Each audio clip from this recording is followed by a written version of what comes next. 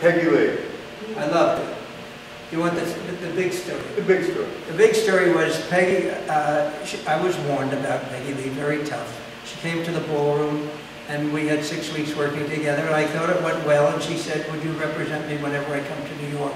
And I did for the next 15 years. When I first saw her in rehearsal, she had a song called Fever. And before I met her, she was in rehearsal, she was telling the light man at the ballroom what pinpoint spot to get on. The theater was dark and she was, and I thought, boy, this lady knows her business. She knew what wattage should be on her fingers. Because she opened her act singing Fever with the spot just on her snapping of the finger. Little, little boob of my Sophia. But one, uh, we had been working together for several years, and I worked with her when she sued Disney, that was fun. But she, uh, they were keeping money from her, she wrote all the songs for Lady and the Tramp. Um, But I, uh, I got a call one night at midnight, and they said, Peggy Lee calling, by the way, she was always Miss Lee, never Peggy.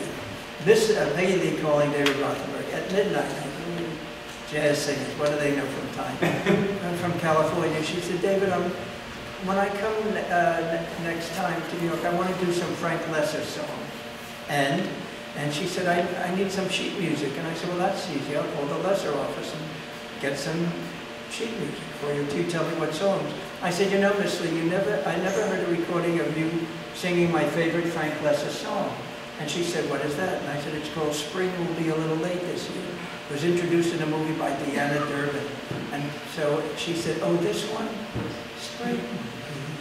I'll spare you my voice. She sang, there I'm lying in bed at midnight with Peggy Lee singing to me. I wanted to put her on hold and call everybody I knew and say, come in and listen. My mother said, what did you do last night? I said, I was in bed with Peggy Lee. And she said,